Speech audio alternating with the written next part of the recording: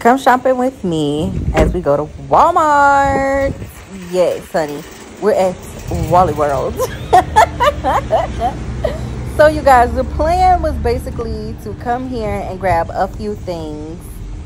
And uh, we're going to see how that turn out because Walmart be having me in a chokehold sometimes with all the new products I be seeing.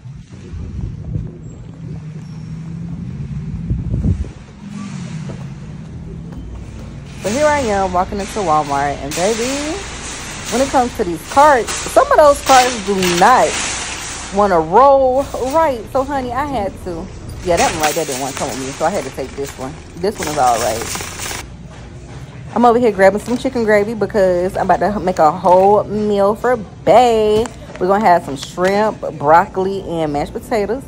And y'all, here I go getting myself in trouble because this was not on my list, y'all.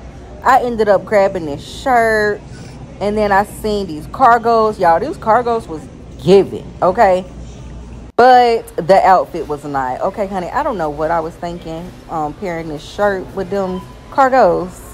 But baby, it was it was not it. This was my second time picking up them cargos and it's a no for me. Now, th th this this right here. Now this right here is a shame.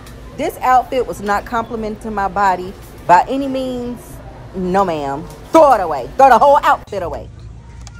So in order to make myself feel better because that outfit did not work, I wanted to grab me some makeup, y'all. And I found these cute makeup brushes. Like, aren't those cute? Yes, twelve ninety seven. Then this was not on my list either, but that beauty blender was matching with those brushes. So I was like, let me get that too. now, this is what I came for.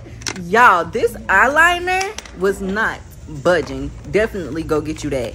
And these lashes, baby, your lashes but better, honey. Kiss was telling the truth. You might as well grab two pair of them. They're long lasting, didn't wasn't heavy on my eyelashes or anything. I was definitely living for it. So I ended up getting two. Now, y'all, this mouthwash right here, y'all better go get it.